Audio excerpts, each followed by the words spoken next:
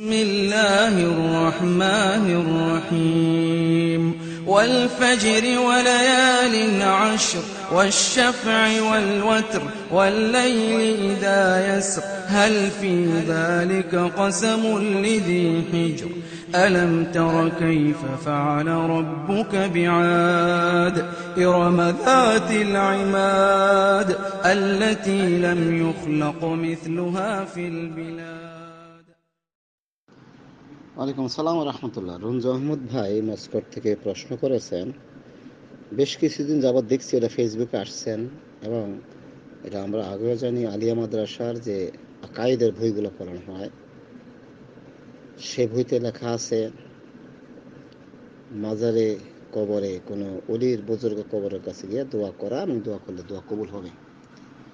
এটা কোরআন হাদিস সম্বন্ধে কতটুক একটু জানাইবেন? আল্লাহ রব্বুল আলম বলছেন, অকল রব্বকুম উদুনি আস্তাজিব লাকুম।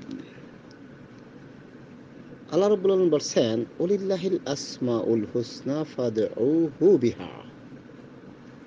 আল্লাহ রব্বুল আলমিন বলেছেন, লাইসা কা মিসলিহি শাইয়াউ ওয়া হুয়াস সামিউল বাসির। রাসূল বলেছেন যে ইজা সাআলতা ফাস আলিল্লাহ যখন কিছু চাইবা, আল্লাহর কাছে চাও। যখন কিছু বলবা, আল্লাহর কাছে বলো। সহি বখারির হাদিস। রঞ্জু আহমদ ভাই, এটা অত্যন্ত দুঃখের বিষয়, পরিতাপের বিষয়।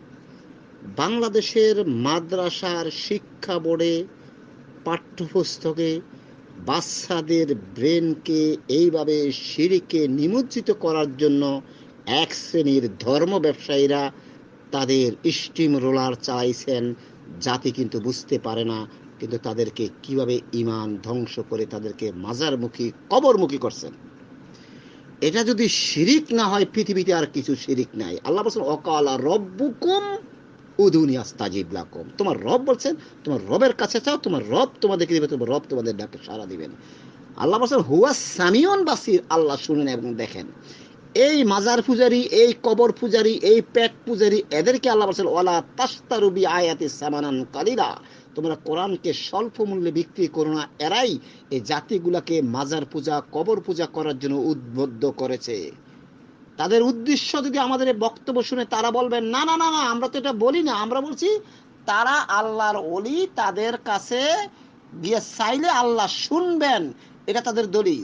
এদের দলিলের জবাব পনেরোশো বছর আগে আল্লাহ রব্বুল ইজ্জত জালাল সুরাতুল জুমারের তিন নম্বর আয়াতে বলছে, আলা আলাহুদ্দিন খালাস ওয়াল্লাযিনা ইত্তাখাযু মিন দুনি আউলিয়া মা না'বুদুম ইল্লা লিয়ুকাররিবুনা ইলাল্লাহি যুলফা শুনে দেখো, দুনিয়ার মানুষ, তোমরা আল্লাহ রব্বুল আলম আলা আলাহুদ্দিন খালেস অবিচ্ছেদ্য অংশীদার মুক্ত আমাদের একমাত্র আল্লাহর জন্য। যখন আল্লাহ বলছে, হে মোহাম্মদ আপনি তাদেরকে জিজ্ঞাসা করেন, তোমরা এই মূর্তির পূজা কেন করো মূর্তির কাছে কেন চাও? তখন তারা বলছে, না না না না, আমরা তাদের ইবাদত করি না, তাদের কাছে চাই না, তারা আল্লাহর অলি তাদের আল্লাহর বুজুর্গ, আমরা তাদের কাছে বলি এই জন্য তারা আমাদের জন্য আল্লাহর কাছে বলবে, তো আল্লাহ আমাদের কথা শুনবে।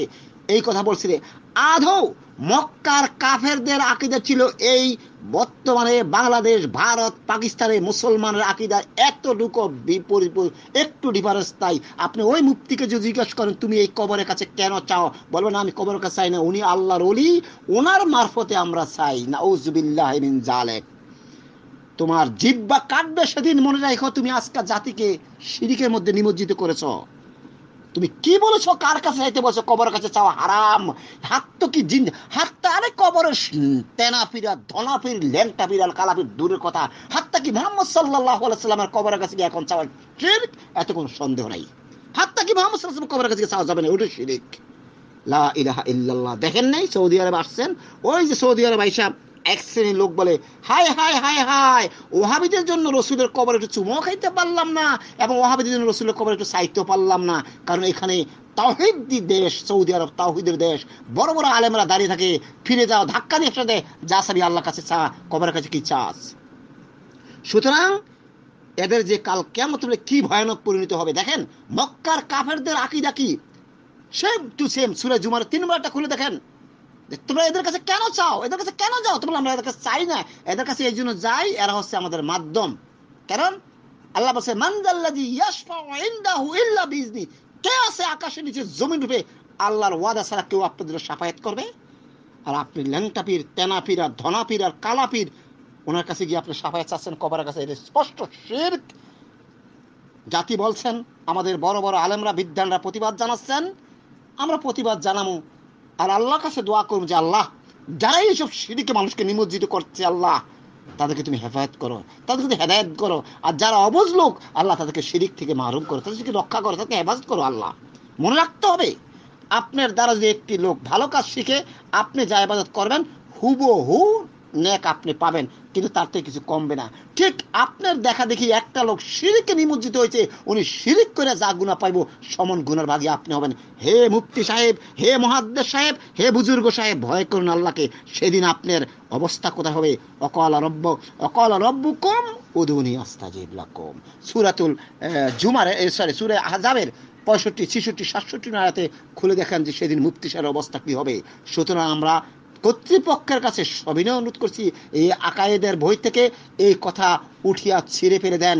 না হয় যারা দায়িত্বশীল আছেন, তারাও কিন্তু আল্লাহর আদালতে জবাবদিহি করতে হবে।